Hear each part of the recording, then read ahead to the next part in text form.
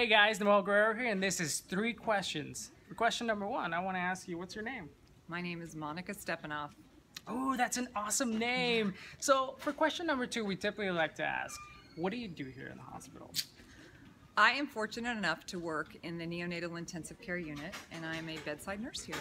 Oh, that's awesome. That must, it, it seems like it's a very rewarding job. It definitely is. It definitely is. So, for question number three, this is my favorite question, and we like to ask this so we could see uh, what what are some of the highlights of this job. So, question number three, give me a good highlight of this job. Okay.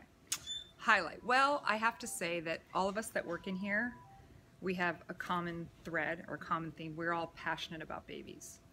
And we will do whatever it takes to make our babies comfortable, healthy, um, to go home to a loving, safe environment, healthy. And I think as doctors and nurses and social workers and secretaries and nutritionists and lactation people, we all work together to see that our patients get the best care. And having worked in other facilities, um, our military families are amazing.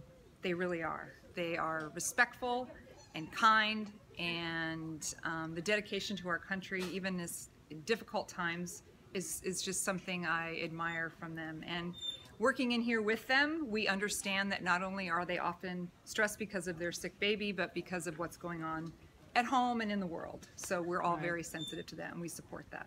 Awesome. Guys, th- this job here, walking around the hospital and finding amazing people like this, it's so easy. Look, you guys can see the enthusiasm that's coming out of this person right here. It's amazing. And this place, the department is great. So if you guys ever stop by, you guys are walking by, say hi to some of these people. They love their job.